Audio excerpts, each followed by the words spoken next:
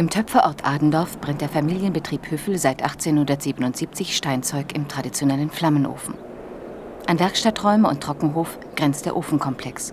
Hier im Bild das sogenannte Schlontes mit den Feuerungen, die den anschließenden Warenraum, den eigentlichen Ofen beheizen. Die Holzvorräte, hauptsächlich Buchen aus dem Adendorfer Busch, müssen ein halbes Jahr lagern. Der Ofen verschlingt pro Brand 15 Kubikmeter Holz und 4000 Liter Öl. Die schematische Zeichnung zeigt den Ofenkomplex. Er gliedert sich in Feuerungsraum, das Schlontes, Setzraum und Schädel, von wo aus der Ofen beschickt wird.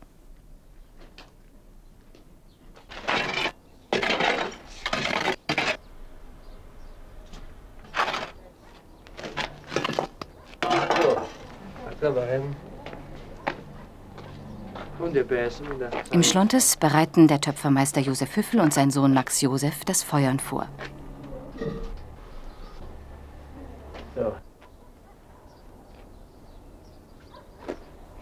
Die Feuerungslöcher.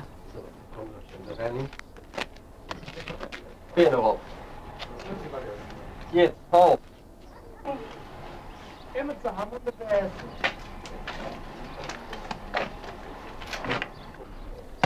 Der Geselle Max Josef schlägt Brennrückstände ab, die durch den Rost in das Ascheloch fallen. Die Asche ist bereits entfernt worden. Unterbliebe dies, könnte die Glut des folgenden Brandes bis an den Rost steigen und ihn beschädigen.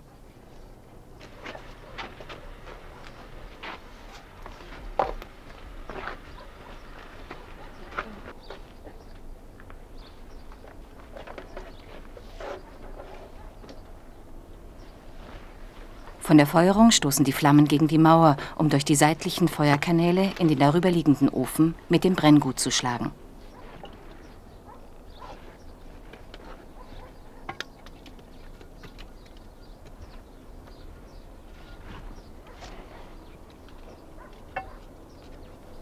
Zu Beginn des Brandes verschließen Schamottesteine, Asche und Feuerungslöcher.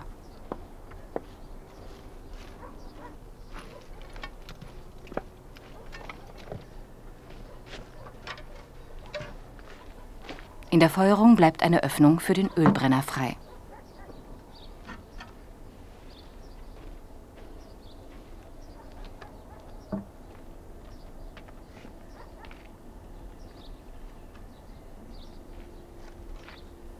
Bis in die 60er Jahre verwandten Adendorfer Töpfer statt Öl oder Gas Briketts. Zum Anheizen verbrannten die Briketts in den Aschekästen. Daher stammt der Ausdruck ohne drin Stauche für die erste Brennphase. Nach 40 Stunden Ölbrand wird mit Holz zugeheizt. Nach 55 Stunden beim Hochfeuer brennen die Töpfe nur noch mit Holz.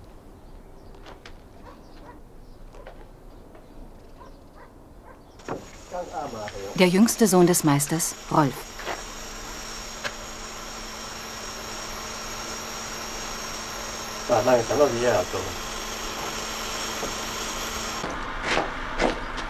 Jetzt, Papa.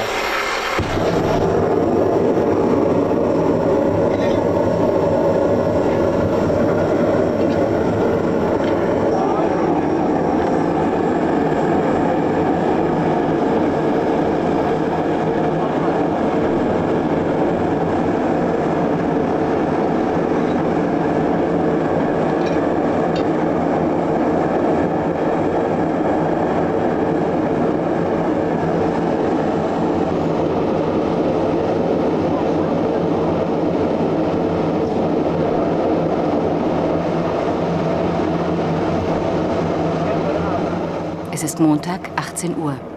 Mit dem Anzünden hat der 60-stündige Brennvorgang begonnen, der erst am Donnerstagmorgen beendet sein wird. Das Herz des Ofens. Unter der sogenannten Kapp steht dicht gedrängt die Ware im Setzraum. Josef Hüffel legt die Öffnungen frei, damit der Ofen gut zieht und der Wasserdampf entweichen kann. Während des Brandes lässt sich durch Zu- und Aufdecken einzelner Öffnungen die Glutentwicklung exakt steuern. Auch mit gezieltem Einwurf der Scheite beim Hochbrand regulieren die Töpfe die Glut.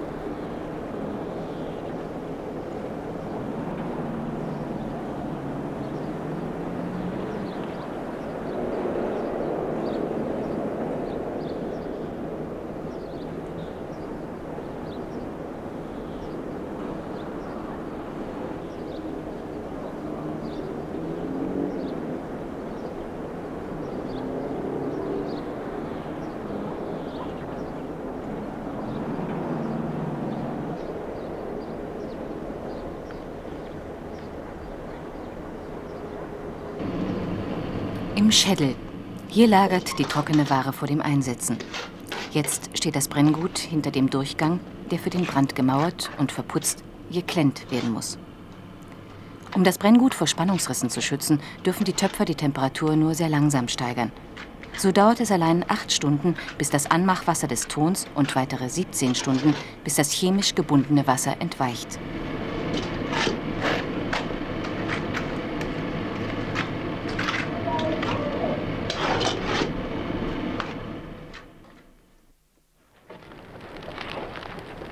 Nach circa 55 Stunden Brand. Der Geselle und ein Helfer stochen in kurzen Abständen mit anfänglich elf, später mit bis zu 25 Scheiten. Das Hochfeuer. Immer häufiger und länger schlagen die Flammen aus den Öffnungen. Sie sind zunächst nur an der Ofenstirn zu sehen und breiten sich nach mehreren Stunden Holzbefeuerung allmählich bis zum Schlontes aus.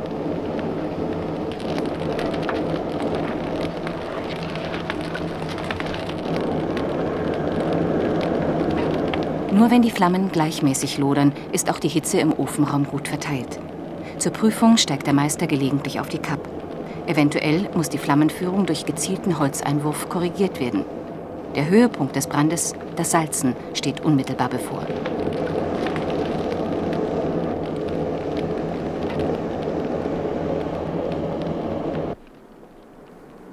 Zum wiederholten Mal sieht der Töpfer durch das Kicklauch in den Setzraum. Weißglut zeigt, dass nach 59 Brennstunden die 1250 Grad Celsius erreicht sind, bei denen Steinzeug sintert, also dicht brennt. Erst nach dem Sintern bildet das Salz die gewünschte Glasur aus.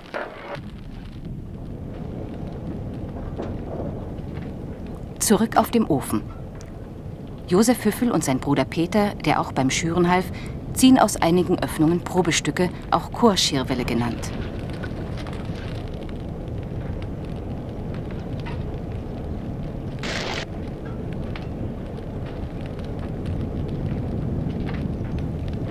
Vor der Entnahme haben die Töpfer wie bei jedem Brand probeweise Salz auf die Kuaschirwelle in die entsprechenden Löcher geworfen.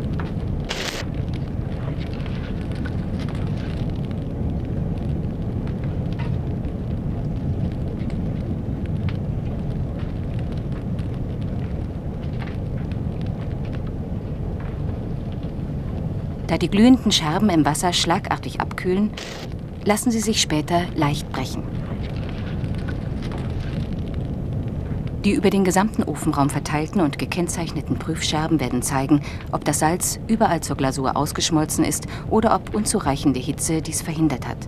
Weitere Scherben bleiben für eine spätere Entnahme im Ofen.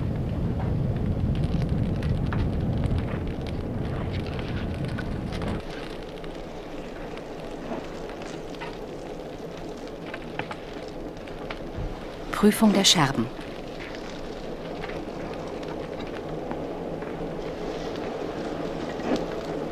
Am glänzenden Aussehen und am muscheligen Bruch erkennt der Töpfer, dass die benötigte Temperatur erreicht und die Salzglasur gelungen ist.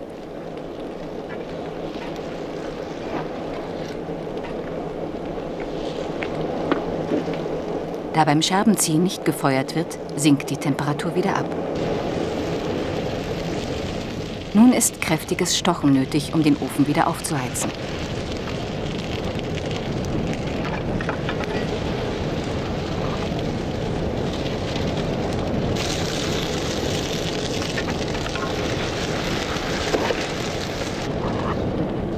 Töpfer erscheinen vermummt zum ersten Salzen in die offene Flamme. Zusätzliche Kleidung und Tücher vor dem Gesicht schützen vor der immensen Hitze und ätzender Fluorwasserstoffsäure, die nach jedem Salzeinwurf entweicht. Pro Brand schluckt der Ofen insgesamt zwei Zentner Salz. Es verteilt sich gleichmäßig im Setzraum, Anflugglasur. Die Glasur entsteht durch die Verbindung von Natrium mit dem Silizium des Scherbens. Chlorid und Wasserdampf zieht als Salzsäurenebel durch die Öffnungen ab.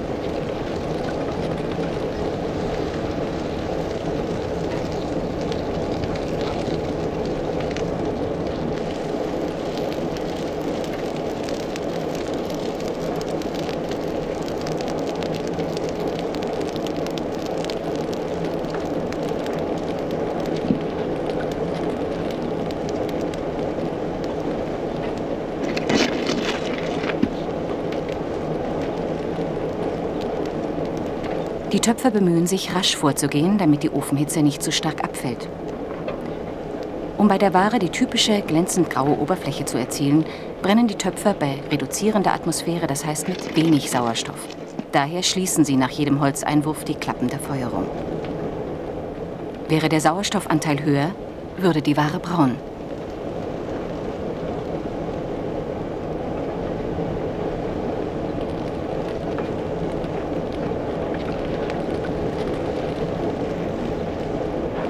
Vor dem zweiten Salzen müssen die Männer ein letztes Mal stark einheizen.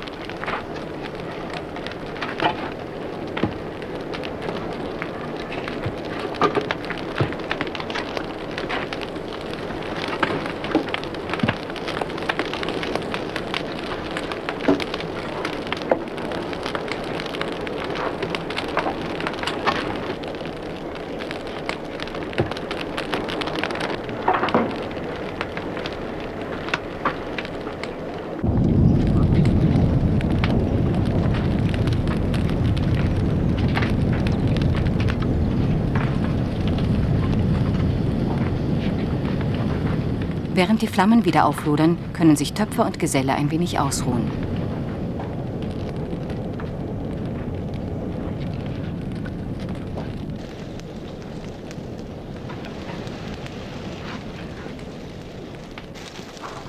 Ist das Feuer heruntergebrannt, salzen Josef Hüffel und Peter Hüffel mit vier Kellenfüllungen pro Öffnung zum zweiten Mal.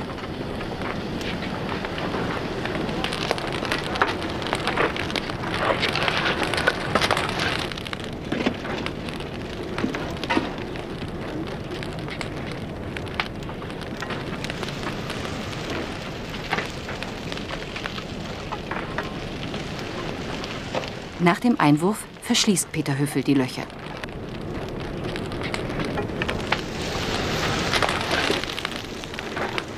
Ist der Ofen rundum versorgt, werden die Töpfer die restlichen Scherben ziehen, die das endgültige Brennergebnis verraten.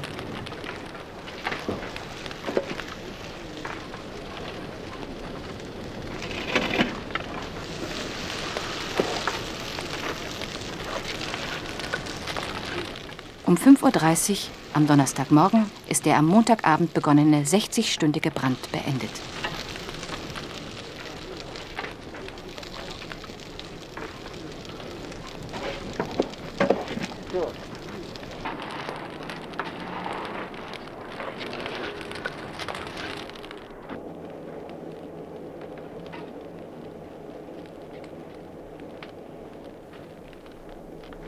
Auf Zugluft reagiert die glühende Ware mit Kühlrissen.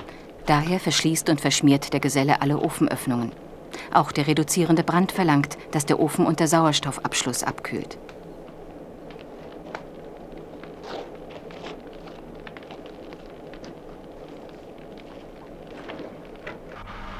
So, das wohlverdiente Sauerstoffabschied. Ja, das Wort ihr schon von der vier Mal. Ein frischer Trunk macht alter Jung. Danke. Prost. Prost. Nach Töpferbrauch wird der Brand mit einem Schnaps, dem Salztröpfchen, begossen. So, jetzt haben wir eine Mia und eine wenige. Ja, da lass mir jetzt die Scherbe und dann sehen. Die Töpfer sehen sich nochmals in Ruhe die zuletzt entnommenen Chorschirrwille an. Wir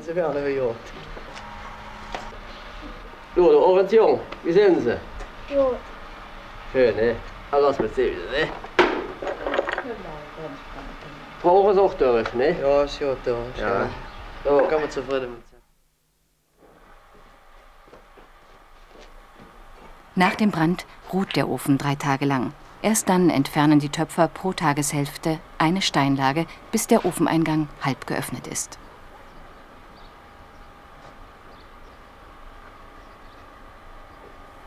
Das Brennergebnis. Auf glänzend grauem Untergrund schmückt kräftig blaues Dekor die fertige Ware.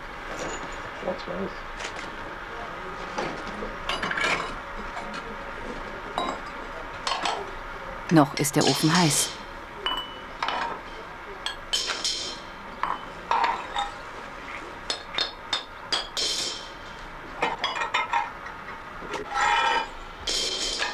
Das Kreuz ist ein Symbol für die an Gott gerichtete Bitte um einen guten Brand. Es darf bei keiner Ofenfüllung fehlen.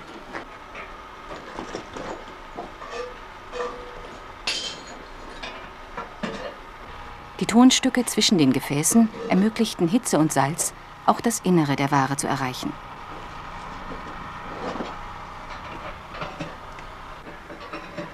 Teilweise sind die sogenannten Schrottele mit dem Brenngut verbacken.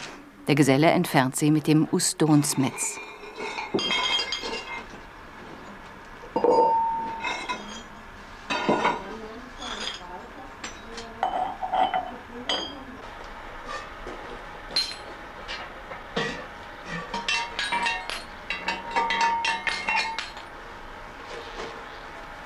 Schrottele und Warenausschuss finden Abnehmer in der Schamotteindustrie. Mit dem Auge nicht wahrnehmbare Risse sind am Klang des Gefäßes zu erkennen.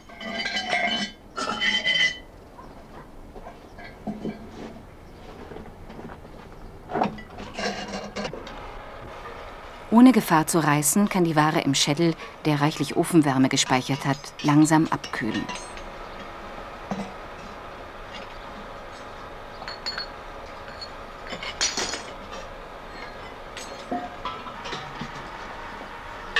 Durch Wasserverlust ist der Besatz um 12 Prozent geschwunden, sodass die Warenstapel nach dem Brand etwa 30 Zentimeter niedriger sind. Frau Hüffel, die Mutter des Gesellen. Nach der üblichen Arbeitsteilung verrichten die Frauen beim Ein- und Ausräumen Hilfsdienste. Eigenständige Arbeiten sind das Henkeln und Dekorieren der Gefäße, der Ladenverkauf und meist auch die Buchführung des Betriebes.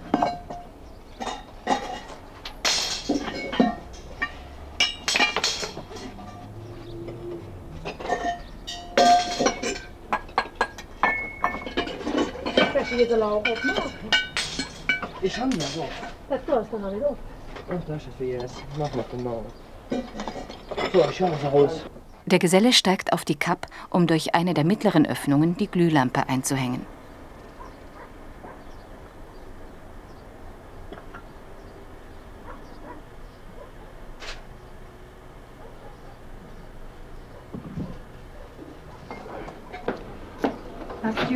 Im Lager. Frau Hüffel und Frau Kastenholz, die stundenweise in der Töpferei arbeitet, stapeln die gut ausgekühlten Töpfe.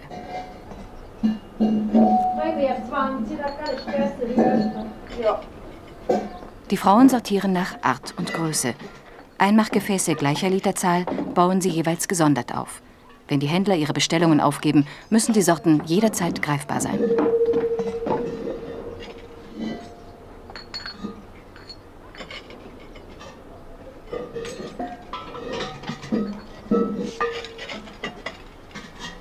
Die Literangabe befindet sich am Topfboden.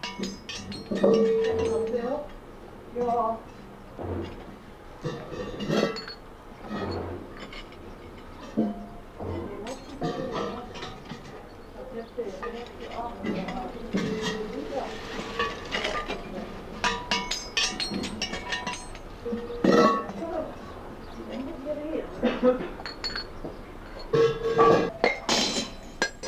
Josef Hüffel hat den Eingang vollständig geöffnet, da der Ofen genügend abgekühlt ist.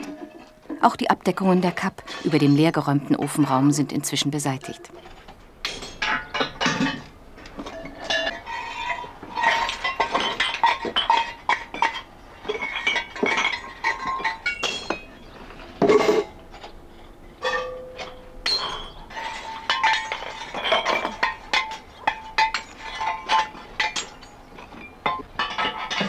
Zur optimalen Ofenausnutzung haben die kleinen Gefäße Zwischenräume an den Seiten und zur Decke hin ausgefüllt.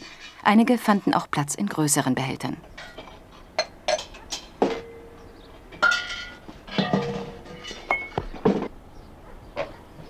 Einzelne Beschädigungen sind unvermeidbar. Misslingt jedoch bei einem Fehlbrand der gesamte Ofensatz, ist das eine Katastrophe für den Betrieb.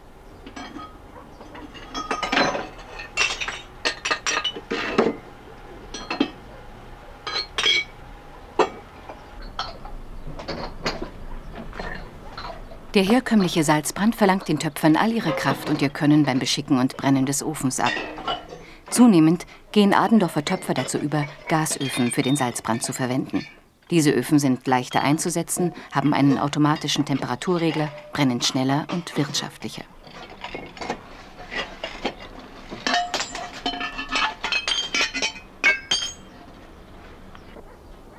In naher Zukunft wird sich auch die Töpferei Hüffel diesem Trend beugen, um konkurrenzfähig zu bleiben.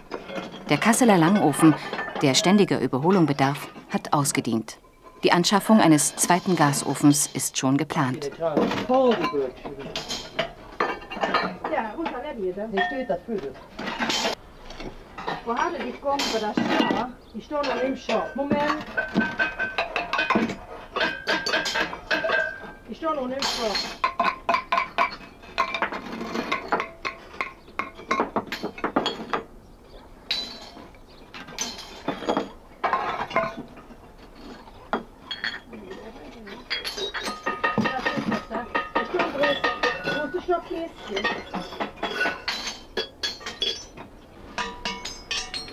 Im Zyklus der Töpferarbeit markiert jeder Brand einen Höhepunkt.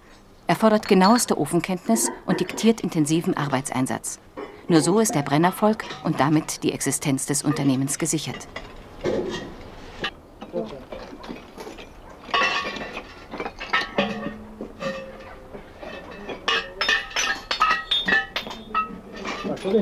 Oh, das är jag inte. Ja, då. Ser vi mer backar? Det sjön, va? Ja, då. Inte på den här lappen. Det var något skön värme.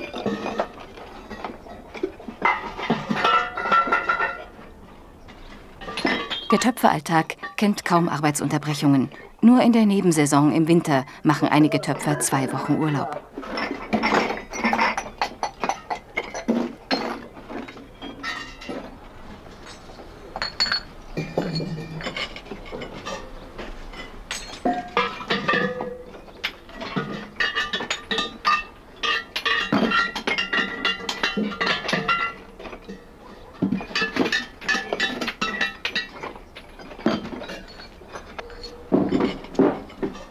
Den letzten Jahren nahm die Nachfrage nach Gebrauchssteinzeug, die Vorratsgefäße ausgenommen, stark ab.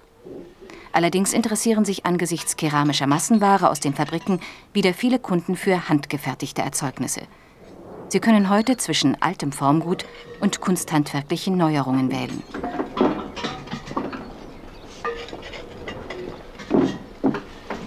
Das seit 1742 bestehende Adendorfer Töpfergewerbe erlebte seine Blüte in der zweiten Hälfte des 19. Jahrhunderts. Unmittelbar nach dem Zweiten Weltkrieg war die Entwicklung rückläufig. Von den damals 31 Betrieben gibt es 1977 nur noch zwölf, zehn handwerkliche und zwei industrielle.